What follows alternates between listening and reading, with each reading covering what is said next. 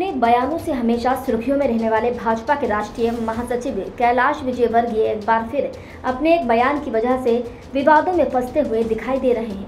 अब उन्होंने महिलाओं को लेकर एक बयान दिया है, जिसमें वो साफ़ कहते हुए दिखाई दे रहे हैं कि कुछ महिलाएँ ऐसे कपड़े पहनकर निकलती हैं कि मन करता है उनको कार से उतरकर थप्पड़ मार दे। वो पूरी सुपर्णखा लगती हैं।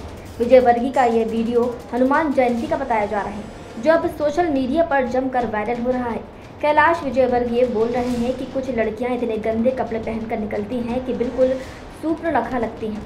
वो आगे ये कहते हुए नज़र भी आ रहे हैं कि मैं कभी कभी देखता हूँ कि मैं आज भी जब निकलता हूँ पढ़े लिखे नौजवानों, बच्चों को झूमते हुए देखता हूँ तो सच में ऐसी इच्छा होती है कि पाँच सात ऐसी दूँ कि उनका नशा उतर जाए।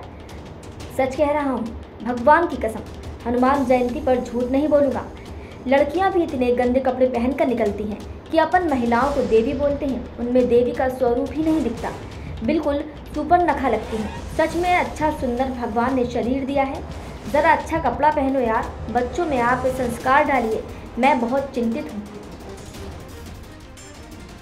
मैं रात में जब निकलता हूँ और पढ़े लिखे नौजवानों को बच्चों को जब झूमते हुए देखता हूँ तो सच में ऐसी इच्छा होती कि उतर के और इनमें पाँच, सात ऐसे में नशा उतर जाए सच में क्या? भगवान की कसम खा की हनुमान जयंती को झूठ नहीं बोला और लड़कियाँ भी इतने गंदे कपड़े पहन के निकलती है कि अपन महिलाओं को देवी बोलते हैं।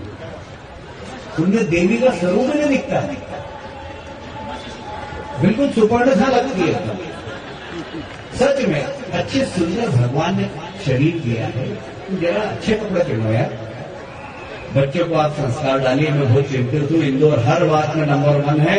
और पिछले दिनों नशे ने जिस प्रकार युवा पीढ़ी को छेड़ा है, वो कल के लिए हमारे लिए चिंता का विषय इसलिए बच्चों में संस्कार डालिए। कैलाश विजयवर्गीय पहले भी इंदौर में युवाओं के नशे में लिप्त होने पर चिंता ज़ाहिर कर चुके हैं। पिछले महीने उन्होंने पितृ पर्वत और आयोजित हनुमान चालीसा पाठ के आयोजन में आर्ट ऑफ़ लिविंग के प्रणेता श्री श्री रविशंकर के सामने इस पर चिंता जताई थी। उन्होंने कहा था कि वो युवाओं को नशे से दूर करने के संबंध में अभियान चलाएँगे। इसके लिए वो युवाओं को अध्यात्म से जोड़ेंगे। डेस्क रिपोर्ट, मुंबई महानगर।